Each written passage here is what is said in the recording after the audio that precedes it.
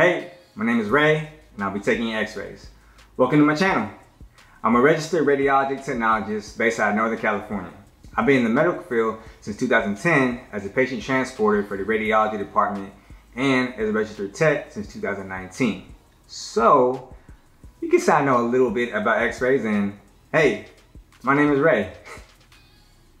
I made this channel because when I was a student, there was nothing but out-of-date videos on YouTube about my career. And they were also kind of sterile and boring. But believe it or not, it could actually be pretty fun. And that's my goal to show you. As a subscriber, you'll be getting information about my experience in the radiology program and as a registered tech. Tips and advice, Q&As, positioning videos, and whatever else radiology related that comes up. I also created these handy technique cards that I'm super proud of to help you students and even techs out there to give you that ballpark technique when you need it the most.